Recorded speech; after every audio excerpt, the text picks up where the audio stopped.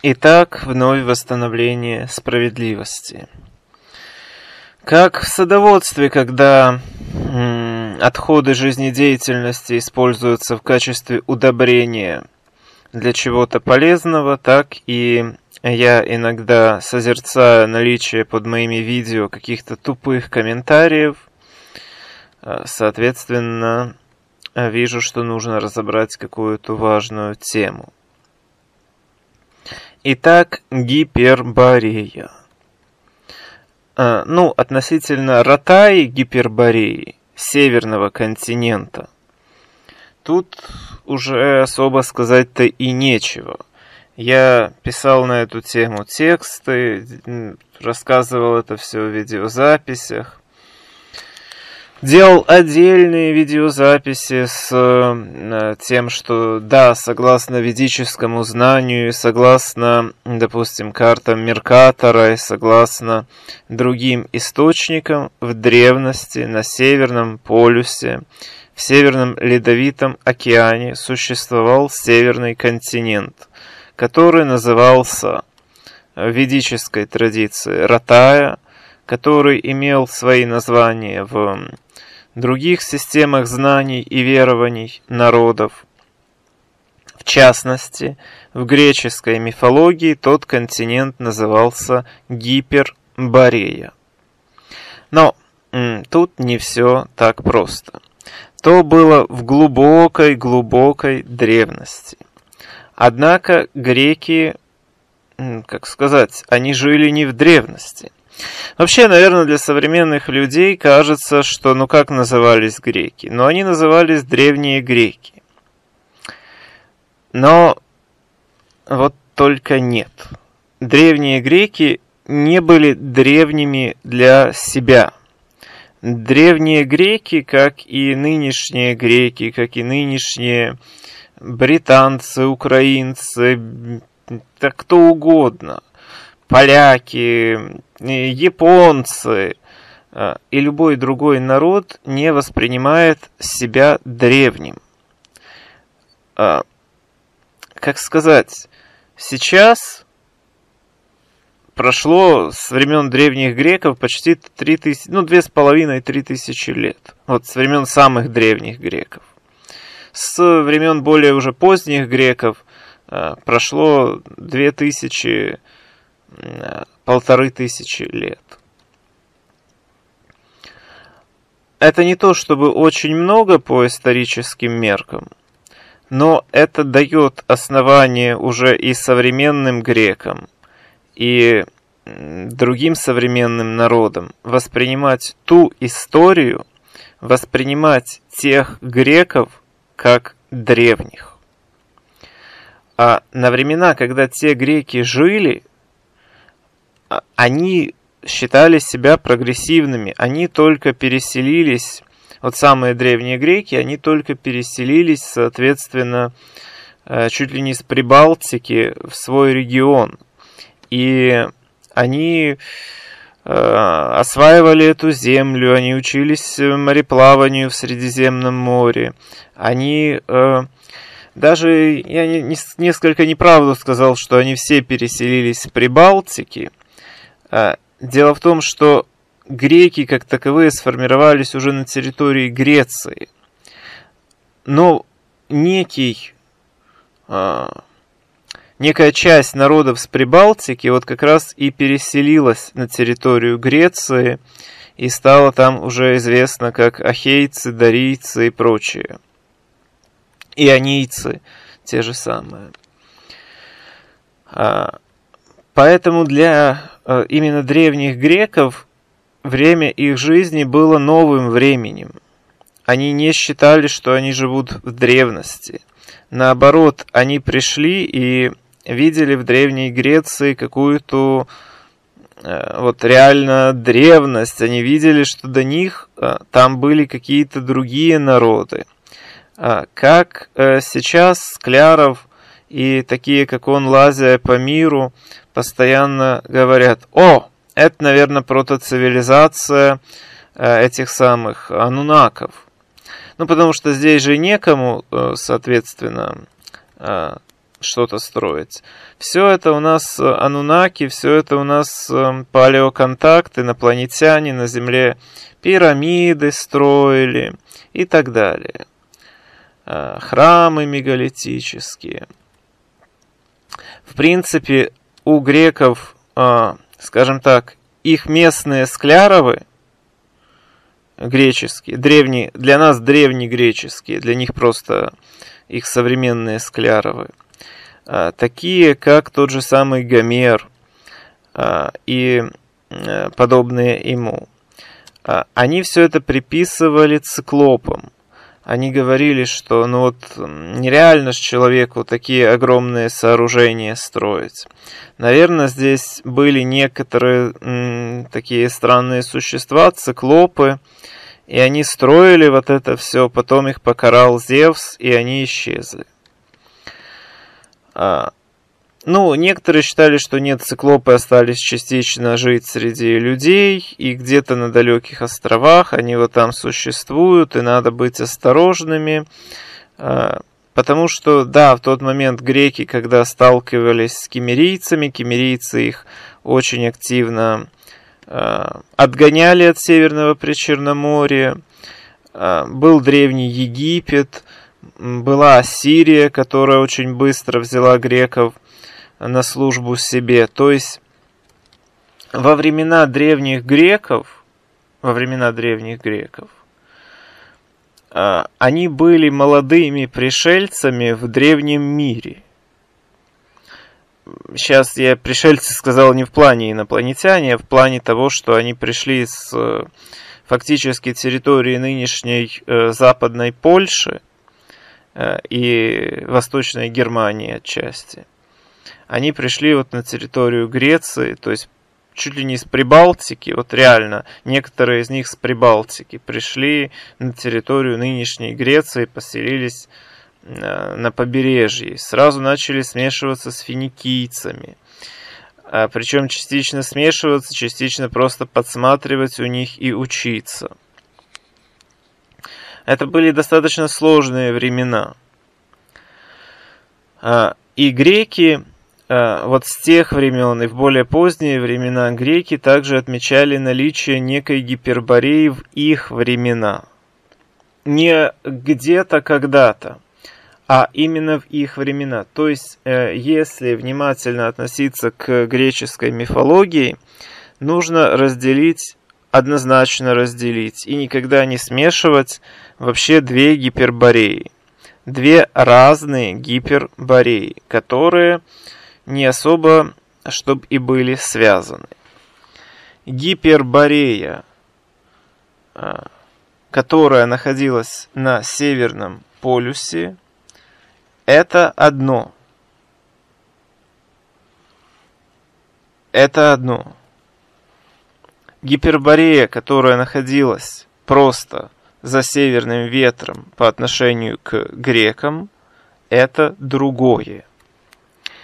А относительно того, в общем-то, какой был северный, каким был северный континент, какой была вот та самая а, северная именно Гиперборея, Э, греки уже, так сказать, помнили очень смутно, очень, э, очень так отдаленно. Но греки хорошо знали, что в их времена существовала современная им Гиперборея. Просто которая находилась чуть севернее от них, находилась за Карпатскими горами. В отличие от вот той Гипербореи, которая находилась далеко-далеко, современная грекам Гиперборея находилась всего лишь за Карпатскими горами. А, и если подписать вот, э, ну или взять просто карту э, Карпатских гор, карту Европы, Сейчас же с изучением всего такого еще проблема в том, что люди плохо знакомы с географией, люди плохо знакомы с историей, люди не хотят учить ни географию, ни историю. Люди хотят быть христианами, не открывая Библию. Люди хотят быть э, суперведистами, чуть ли не волхвами, не открывая никаких текстов по изучению вед. Это проблема и современного родноверия, и современного христианства, и современной поп-культуры. А, я, например, годами э, предлагал Хиневича, Трехлебова, Чудинова э, всяким и разным. И тем, кто типа духовно развивается, и тем, кто вообще однозначные, так сказать, деструктивные начала. В любом случае, всем им я предлагал, вот есть веды, можете изучать веды. И, как сказать, они даже с большей вероятностью э, как-то могли согласиться, что типа, ну давай как-то что-то вместе, э, типа это самое, но типа не лезь к нам со своими ведами. Давай там взаимопорекламируемся, может, давай там что-то совместное сделаем, если так уж хочешь. Но вот э, изучать, зачем нам твои какие-то веды, там наши книжки давай читай.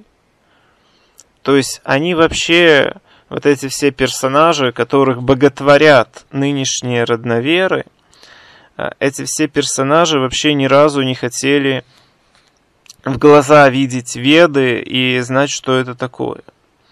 Потому что, ну реально, а зачем им, если оно им не нужно?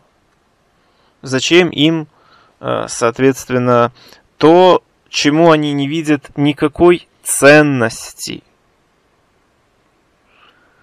Это для них просто лишние данные. Э, для них даже не было никогда принципиального, принципиальной какой-то разницы, э, реально ли типа каким-то путем у меня сохранились э, ведические какие-то данные, или типа я их подделал, или еще как-то так. Сами они э, свои всякие э, типа Веды Хиневича в лунную ночь, или э, какие-то переводы чудиновских камней Макоши в храме дохлого ежика. Э, они всегда это, конечно же, подделывали, и для них, по сути дела, ну, подделали, ну и что, зато прикольно звучит, зато, э, так сказать, то, что надо, типа, подделали, как они считают. Поэтому, в общем-то, э, если бы у меня все материалы были подделаны, но если бы они более сообразно их мышлению э, звучали, они бы это, может быть, даже захотели бы как-то не говорю принять, но по крайней мере как-то с этим ознакомиться. Э, как-то, может быть, э, тоже на это ссылаться и такие... Вот они свою дурку доносят до своей паствы. И типа они бы сказали, а знаете, не только мы свою дурку доносим до своей паствы. Вот есть еще один человек, который схожую дурку доносит, поэтому, значит, мы правы. А, вот а, такие какие-то ссылки друг на друга они делают без труда. И на меня бы сделали, но оно мне не надо. Я им предлагал реально изучать веды. Я поначалу, как сейчас я понимаю по глупости и наивности, надеялся, что а, изучение истины для них имеет хоть какую-то ценность. Ну, я ошибался, я сожалею. А, однако, однако, я годами изучаю все эти материалы, я годами ездил по музеям, по а, разным библиотекам. А, конечно же, учился у своего духовного учителя, который э, сохранял э, наследие рахманской традиции. Конечно же, осмыслял годами это все наследие. Сейчас в данном видео я показываю и а, материалы из Википедии, и карты из Википедии, и показываю наложение и соотношение всех этих карт. И какие-нибудь снова же такие товарищи, э, могут такие сказать, ну, слушай, зачем это нам все надо? Мы тут хотим веды дохлые чебурашки изучать во имя барабашки, потому что, ну, типа, ну, давай вот э, уникальное что-то, давай там это. А другие, соответственно, э, будут писать глупости, как некое э, фекалоумное создание, которое опять писало под моими видео гадости и, в частности, писала о том, что типа Украина это не Украина, Россия родина слонов, и, в общем-то, а, и, в общем-то, Гиперборея тоже была где-то на севере Руси. Вот эта формулировка, кстати, Гиперборея где-то на севере Руси, это такая формулировка, что после нее уже слов нету. Я созданию пишу, ну, поизучай хоть какие-то первоисточники. Э, создание глупости пишет, э, а типа, зачем ей первоисточники, вот она каких-нибудь этих чудиновых э, с Хиневичами наслушалась, и у нее гиперборея на севере Руси. При этом основа же, а что есть север Руси? Как бы, где север Руси? Для этого вообще нужно понимать, что есть Русь. Для того, чтобы понимать, что есть Русь, снова же нужны первоисточники. Нужно эти первоисточники читать, нужно эти первоисточники осмыслять. Нужно вообще хотя бы для начала знать, что они есть. Потому что да, первоисточники есть. А, первоисточники о Гиперборее конкретно греческие. А, и в этом ну, нет ничего плохого. Греки сохранили много аспектов памяти о именно э, общечеловеческом и индоевропейском наследии и о первых, соответственно, каких-то этапах расселения.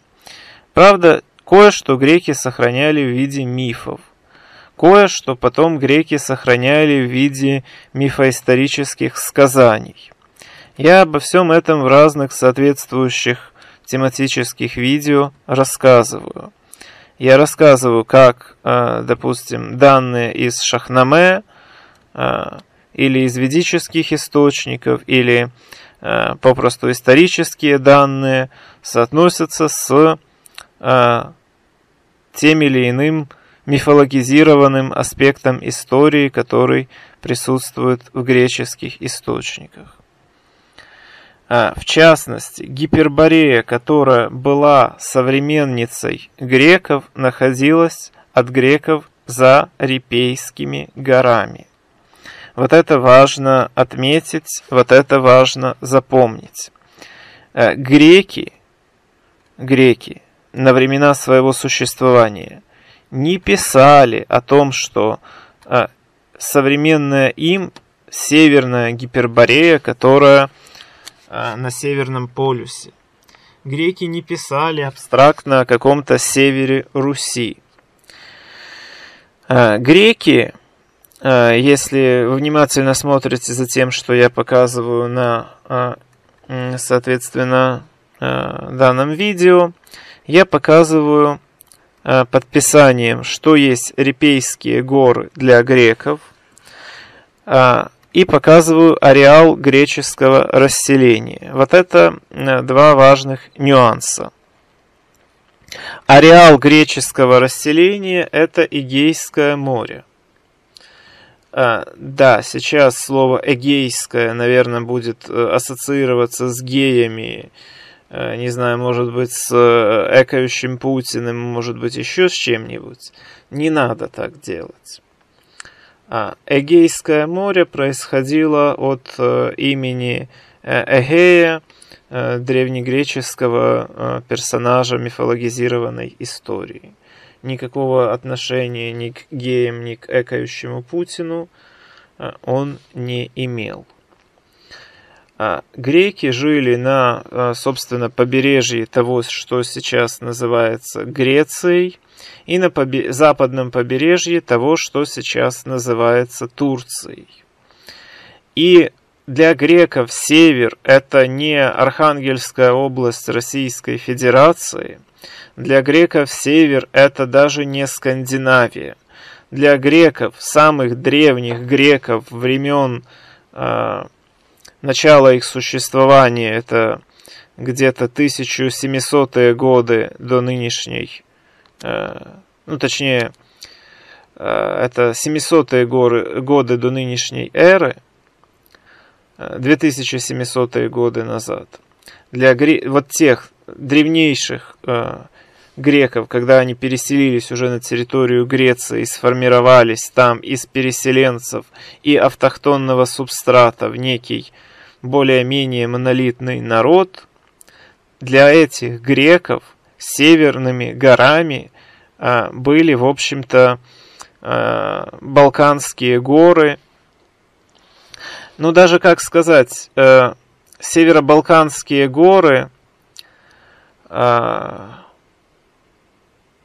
ну, если вы смотрите на карту, вы не увидите, где они отделяются от эм, соответственно, Карпат. Если вы смотрите на физическую карту, вот чисто на физическую карту Европы, вы можете заметить, что, соответственно, от западной Польши а, до а, фактически южной Болгарии тянется некая такая извивающаяся штука эта штука, это горная штука, это горы. Вот можно называть эти все горы одним и тем же названием, можно разделять их и говорить, что там у нас э, типа то те горы, тут у нас типа это эти горы. Тут от перемены мест слагаемых э, суть не изменится. Существует некая возвышенность.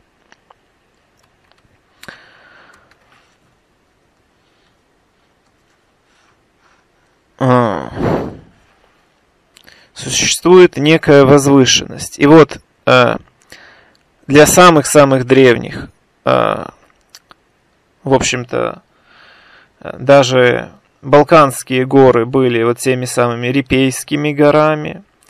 Позднее, ну еще на некоторый период Родопские горы – в общем-то, и были Репейскими горами для греков.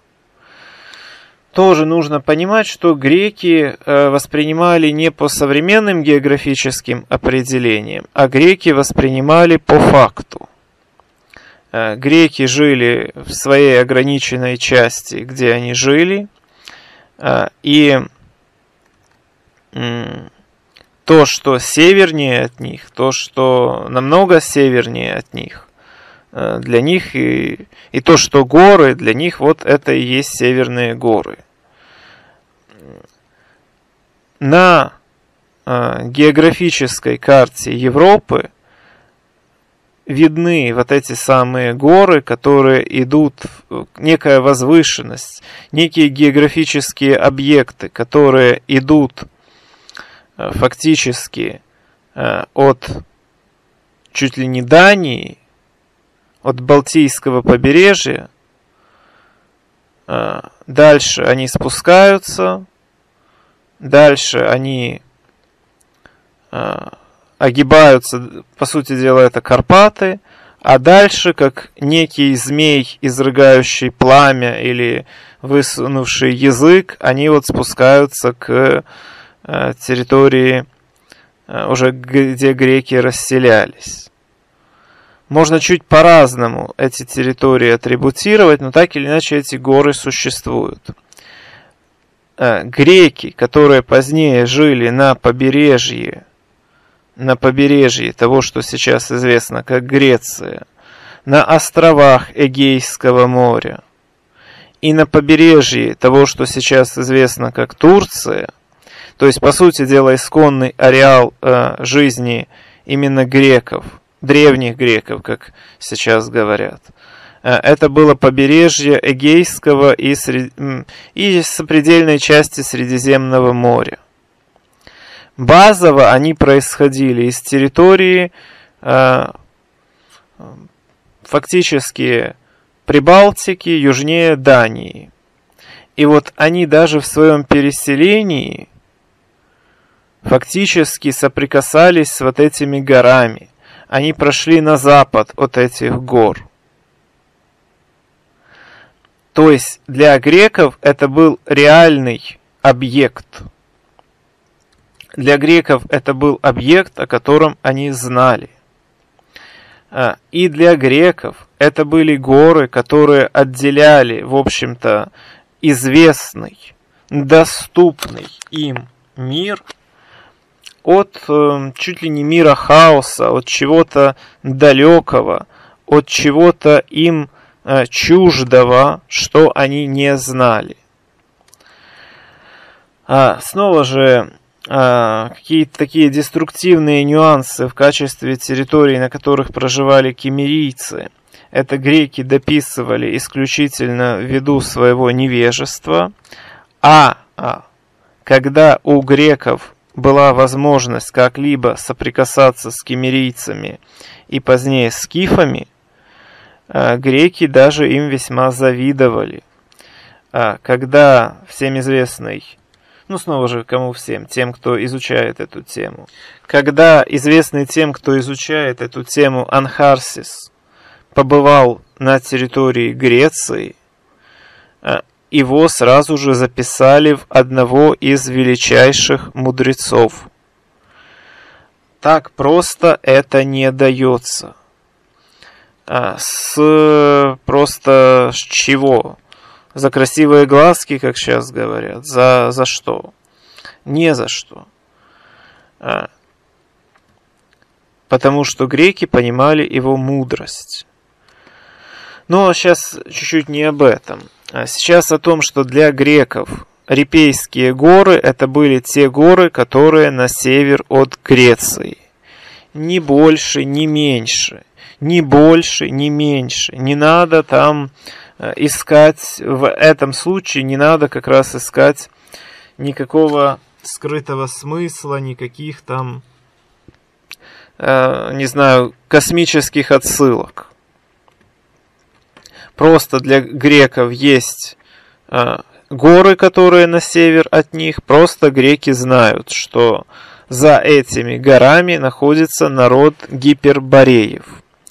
А, есть коррекция, что по меру того, как греки ознакомливались с окружающей их действительностью, по мере того, как, в общем-то, они начали а, активно путешествовать, как э, сначала Черное море для них было негостеприимным. Они его называли море негостеприимное. Позднее они его переименовали в море гостеприимное. Это уже когда кемерийцы покинули Северное Причерноморье и когда, в общем-то, э, греки начали поселяться как в тех городах, которые существовали, так и какие-то свои поселения рядом основывать. И постепенно это переросло в то, что греки в Северном Причерноморье имели свои города-государства. А, можно спорить, полностью ли это греческие города наполовину или как, но так или иначе. А, позднее для греков Северное Причерноморье стало известным. Также греки позднее путешествовали а, в Италию, позднее римляне воевали с кельтами – и понятие Репейские горы отдалялось. Если начально греки живут на побережье всего лишь Эгейского моря и оттуда смотрят на огромный враждебный мир, который их окружает, а, то дальше греки уже контактировали с фракийцами, с дакийцами, и понятие Репейские горы для греков отодвигалось. Поначалу это Родопы и отчасти Балканы, Репейские горы. А позднее в большую часть вот именно классических Геродотов и всех остальных Репейские горы это как раз те горы, которые отделяют Польшу и Украину от остальных частей Европы. Физически на географической карте Европы некую такую линию увидеть можно. Основой этих гор, по сути, основным горным массивом тут являются Карпатские горы. А, ранее некоторые этапы а, для греков Репейские горы были совмещение Карпатских гор и, соответственно, Альпийских гор, когда они знали, что вот и на север от Греции, и на север от Италии есть вот такие высокие непроходимые горы, за которыми живут какие-то страшные племена гипербореев, кельтов и всех остальных, а они вот тут на своих вот этих побережьях живут, и, в общем-то, им хорошо вдалеке от этих всех э, гигантов, которые для них страшны и потенциально опасны. То есть Гиперборея, э, в которую путешествовали греки, Гиперборея, в которой учились греки, Гиперборея, с которой происходили боги, которых почитали греки. А в греческом пантеоне чуть ли не у половины богов есть эпитеты гиперборейский, гиперборейская, гипербореец и так далее. А, в основном это высшие, светлейшие боги, э, по сути, те, которые связаны со Всевышним. То есть это или греческие э, версии э, представления о Всевышнем, или какие-то ближайшие к нему божественные сущности. Аполлон гиперборейский, Артемида гиперборейская, Арес гиперборейский, Гефест гиперборейский, Гермес, также связанный с Гипербореей. Э, Все это как бы э, для греков было классикой.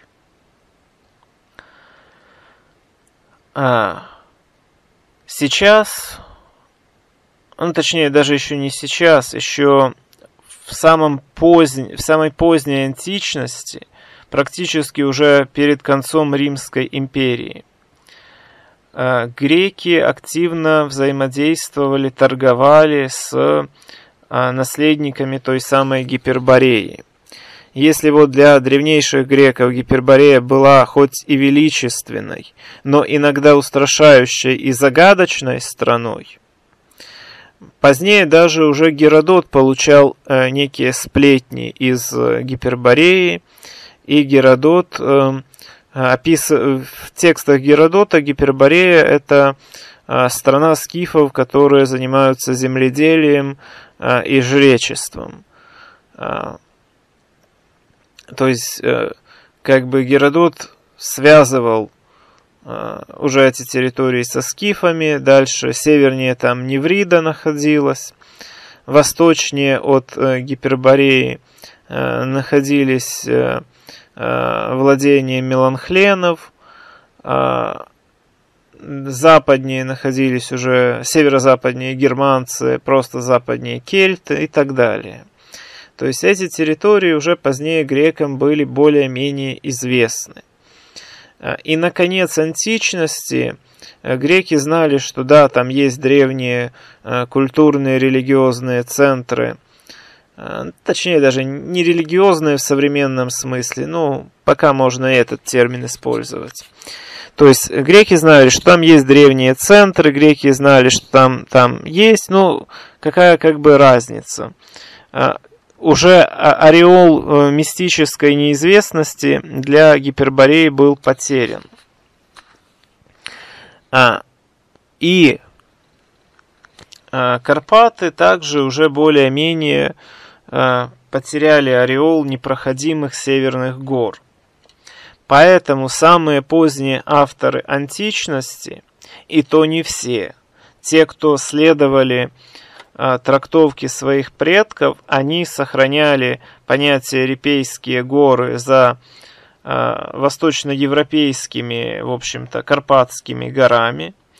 Но другие авторы, которые опирались не на географию, а на обозначение Репейских гор как далеких э, северных гор э, в более поздние времена они уже начали отождествлять это а, с горами, которые, да, может быть, начинаются от Карпат, но дальше идут по Днепровской возвышенности и дальше уходят к Уралу.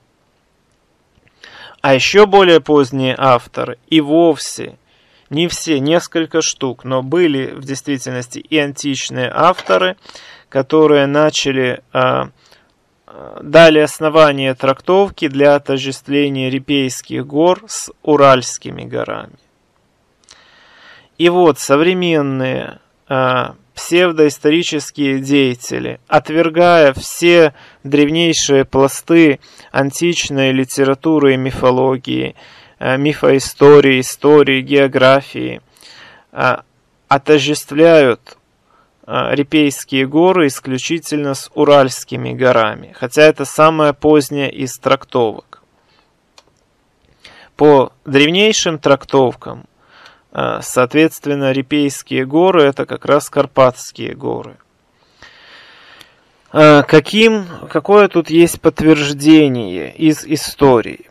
Ну, например, если пользоваться теми же самыми материалами, Э, из Википедии относительно кемерийцев, да, кемерийцы связываются с Гипербореей. И где жили кемерийцы по всей археологии, по всему, можете смотреть на тех картах, которые я делаю прорисовки, можете смотреть, э, в общем-то, на, так сказать, общепринятых картах, которые взяты мною из Википедии. Я делаю прорисовки, которые, э, соответственно, более ориентированы на археологию, на э, артефакты.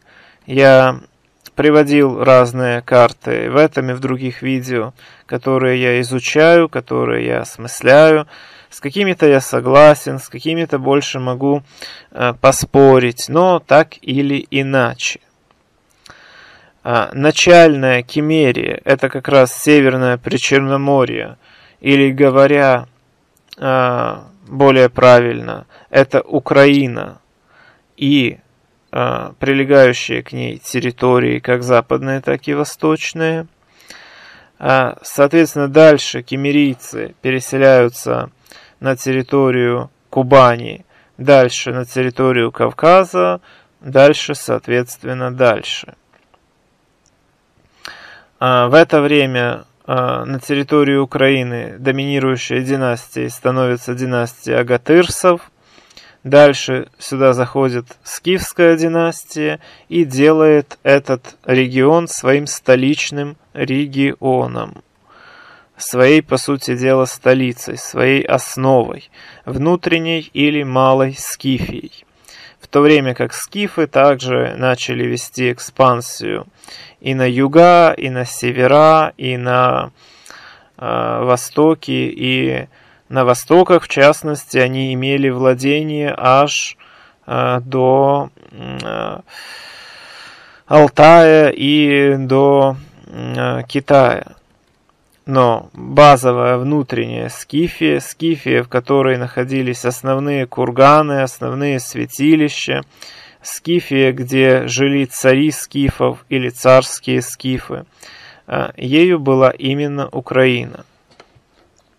На некоторых приводимых мною картах а, меланхлены обозначены просто чуть восточнее, чем андрофаги, будины и гелоны обозначены также впритык к андрофагам, это неправильно. А, андрофаги а, это, по сути дела, территория нынешней Московии. Неврида это территория нынешней Литвы и э, восточной, Бело, точнее, западной Белоруссии. Там проживали неуры. Неуры это тот же осколок кемерийцев или скифов, ну, правильнее сказать, даже просто индоевропейцев. А, ну, изначально скифы и кемерийцы вообще были в единстве, и изначально, изначально все это северная ведическая традиция, все это Виевичи, а, которые воевали с Деевичами, которые уже только потом начали между собой раскалываться. И вот те из них, которые не следовали поучениям Саагаста, те, которые как бы остались староверами и так далее, их назвали неурами, то есть не следующими актуальной версии вероучения.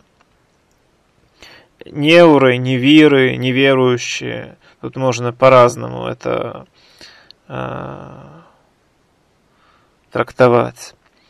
И э, вот археологически они обозначены как, э, соответственно, балты. А некоторые историки неправильно их э, помещают южнее достаточно, и андрофагов южнее, хотя э, и те, и другие севернее. И да, на времена Геродота на территории нынешней Московии проживали андрофаги. Андро, андросфагос – человека-ед. А, я это сейчас говорю даже не в а, какой-нибудь укор, а скорее в урок для россиян, а, что да, у них в предках андрофаги.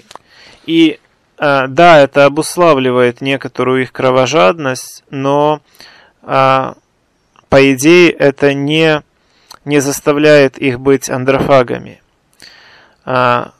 Дело в том, что я горжусь тем, что да, моими предками, предками нашего народа были кемерийцы, скифы, сарматы, Киевская Русь. Я горжусь, что Украина, в общем-то, остается на э, исконной территории славянской прародины и отстаивает эту территорию и воюет со всякой нечистью. Но если бы было бы все наоборот, если бы андрофаги были бы нашими предками – я бы гордился не менее, только уже не э, достойным происхождением, а гордился бы тем, что, несмотря на то, что нашими предками были андрофаги, мы смогли в себе побороть э, эти негативные аспекты и, э, соответственно, стать на путь развития. Поэтому россияне могли бы не уподобляться, соответственно, андрофагам, а они могли бы развиваться и наоборот. А, да, помнить, что среди их предков были и андрофаги. А, исконно как-то так получилось, что россияне тяготеют именно доктринально, по крайней мере, россияне тяготеют именно не к андрофаговским своим предкам, а они именно вспоминают Киевскую Русь.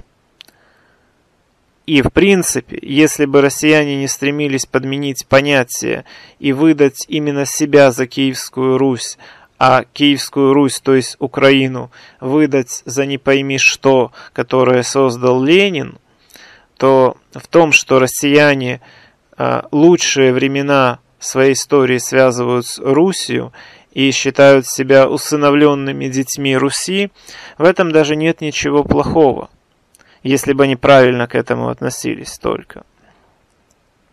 Поэтому, если бы россияне смогли перебороть в себе андрофажьи геном, андрофажьи геном, который находится у них в мозгах, который сейчас воплотился в виде совокупного такого проявления, как Путин, и если бы они стали на путь развития, это было бы не менее достойно, чем то, что э, мы являемся потомками, э, соответственно, исконного ядра индоевропейских народов.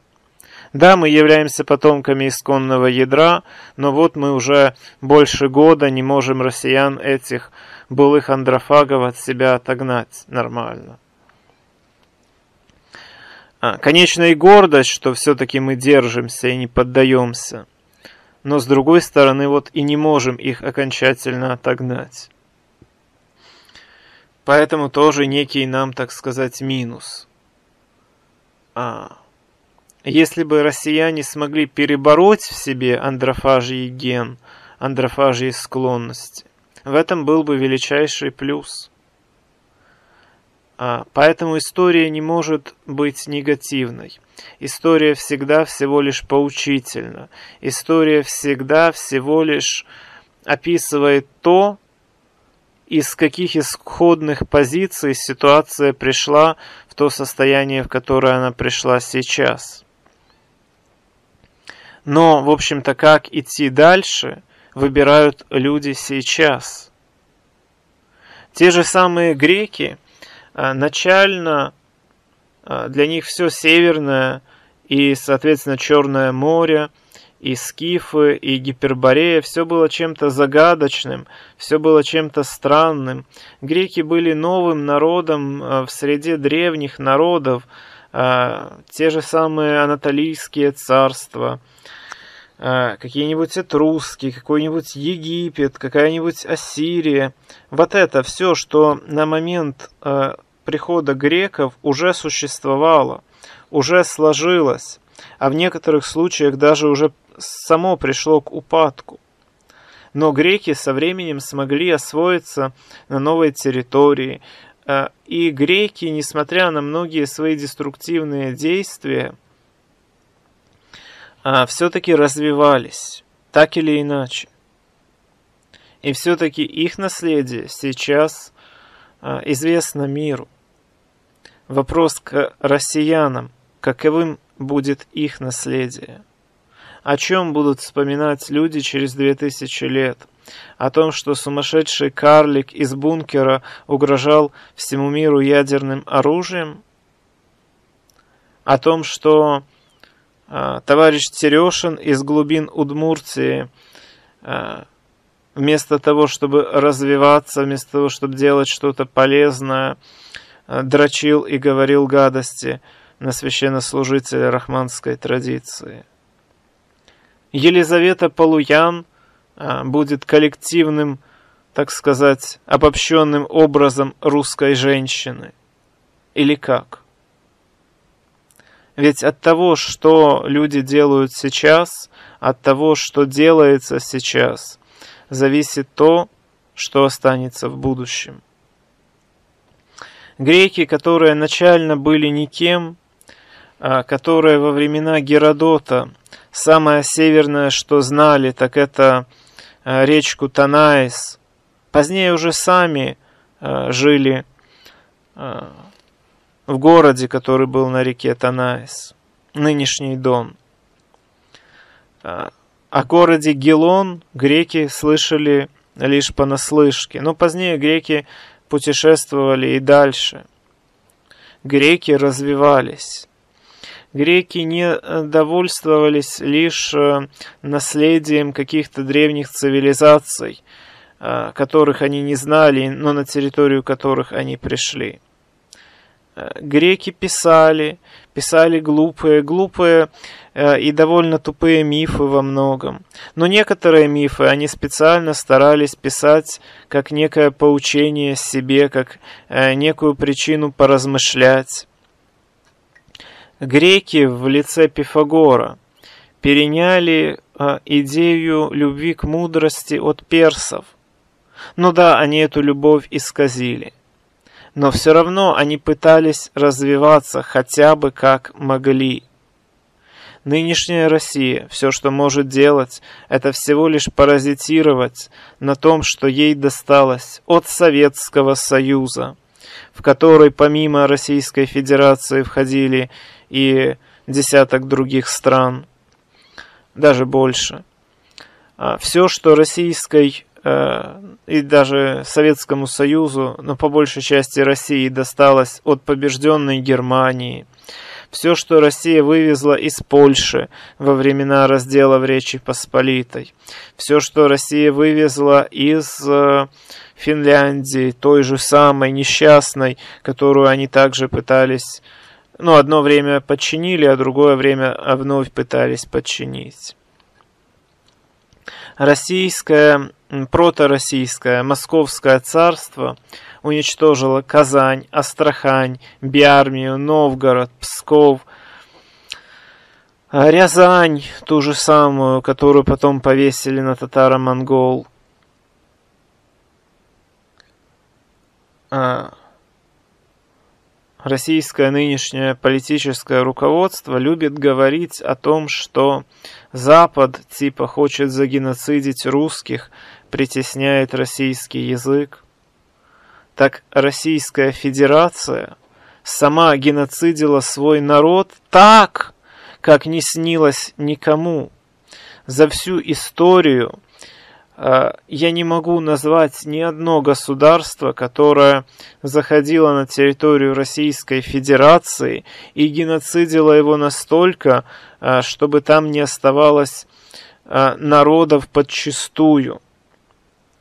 А где астраханцы? Где казанцы? Где пермяки? которые могут нормально говорить на исконном своем языке, которые знают свои летописи, которые знают, в общем-то, кто они, роду какового, племени какого. Где они? Нету. В Российской Федерации, да, доктринально сворована история и типа внешняя обвертка от Киевской Руси, слегка это все пришпаклевано э, обычаями поздних европейских монархий времен уже эпохи Возрождения и позже, когда Петр I копировал все, что мог. Но дух, глубинный дух в Москве остался андрофажьей, тот самый. От тех андрофагов, которые были северо-восточными соседями гипербореев – от тех андрофагов, которые с востока постоянно доставали невров, а, которые иногда своими набегами ходили на сармат, на скифов. Теперь Путин славным именем Сармат называет свое оружие уничтожения. Какой ужас! До чего, так сказать, русские, до чего Эрефия деградировала паскудя все, к чему прикасается, как царь Мидас, только не золотом, а с фекалиями. В греческой мифологии был такой царь Мидас, который к чему бы ни прикасался, все превращалось в золото. Вот нынешняя российская политическая элита, Путин, как Мидас, только наоборот. Все к чему не прикоснуться, все портится. К сожалению. Но, но, не хочу на такой ноте заканчивать. От, от, как бы, только от вас зависит то, на какой ноте закончится или продолжится история Эрефии, ваша история, история человечества. Люди, давайте просыпаться, давайте делать праведное дело. Давайте спасем человечество. Давайте восстановим справедливость и порядок. Давайте не дадим прийти искусственному интеллекту, который все угробит. Давайте почитать наследие наших предков и приумножать его. Давайте исправлять там, где наши предки допустили ошибки, и не допускать ошибки в будущем. Во славу Всевышнего, по воле Всевышнего, истина сияет.